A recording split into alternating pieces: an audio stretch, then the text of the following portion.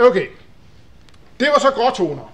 Og gråtoner, de er meget nemme at forstå. Der er bare en talværdi. Jo højere den er, jo lysere er det, jo mindre den er, jo mørkere er det. Men hvad er det med farvebilleder?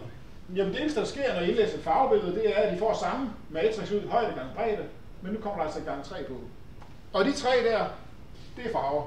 Hvis I ellers tager en lup frem og begynder at kigge på jeres computerskærme, så vil I se i mønster, der svarer nogenlunde til det der. Der kan være lidt forskel på, hvordan vi lægger pixels, men det er bare hver eneste pixel, I har på jeres skærm, det er i virkeligheden tre pixels. En rød og en grøn og en blå. Blander vi dem, så får vi farver. Og det kan simpelthen definere alle de farver, jeg kan se på skærmen. Det er ganske enkelt at skrue op for rød, eller grøn, eller blå, eller kombinationer af det. Så hvis vi tager Lena her, viser hende ganske normalt i farver, men så splitter den op og siger, at jeg vil have alle rækker, alle kolonner, første farveflag, så er det det røde farveflag. Skalaen hedder RGB, rød, grøn, blå. Så det der er de røde farver, det er de grønne farver, og det er de blå farver. Hver af de her skalaer kører efter samme logik. Jo videre det er i første skala, jo mere rød er der i den pågældende pixel. Jo mørkere det er, jo mindre rød er der i den pågældende pixel.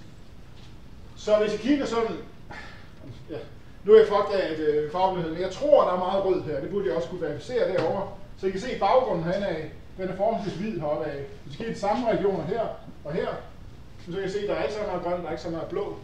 Så der har vi altså rødlige toner. Jeg øh, kan næsten regne ud, fordi jeg sad og kiggede på det her derhjemme, og jeg siger, den der er ikke blå, hvilket jeg ser den som. Jeg tror, den er lilla, fordi der er en rød komponent. Der er en vis grad af grå deroppe af. Så hvis man blander rød og blå, så bryder vi over per definition i lilla. I kan se, at der er ikke så meget grøn i fluoren. Der er en smule hister her, så der er en nuancespil øh, derinde af det. Og det er noget af det, vi udnytter i øvelsen i dag, hvor vi går ind og kigger lidt på de her farveskalaer.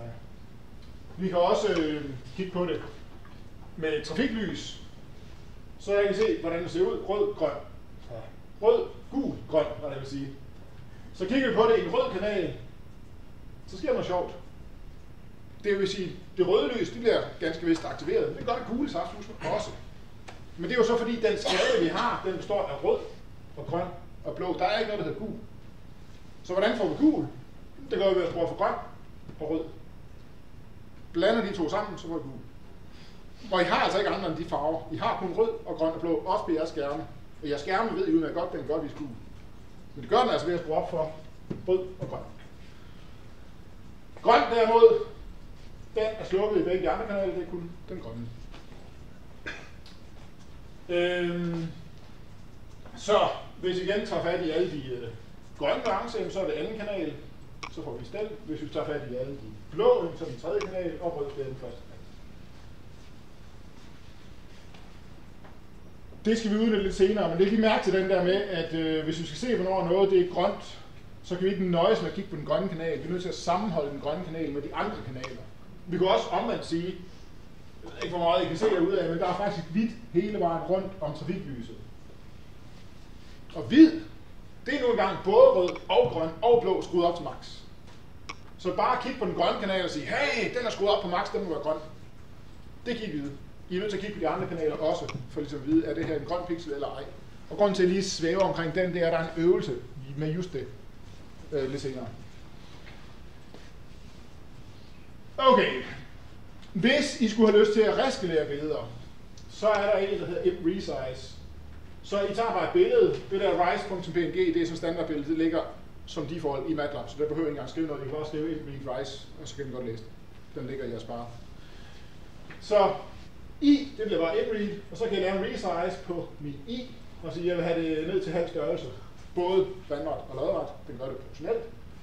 Og så får jeg billedet J ud, og så kan jeg så bare vise det ene i den ene figur, og det andet i den anden figur, og så kan jeg se, at det er skrumpet med 60%. Faktisk skrumpet til 25%, hvis vi skal være pedantiske, fordi det er faktisk en fjerdedel af det her billede. Men lad det ligge. Det er halvvejs i begge dimensioner. Ja. Hvad med at skalere op? Det kan du også gøre. Det er bare en faktor højere end en. Hvis I vil være øh, lidt mere kreativ osv., så, så er der en masse options, I kan komme på in resize. Fordi det er ikke ligegyldigt, om du skal lære ned eller op i forhold til, hvordan den interpolerer imellem pixels. Og det kan du styre meget mere specifikt derinde.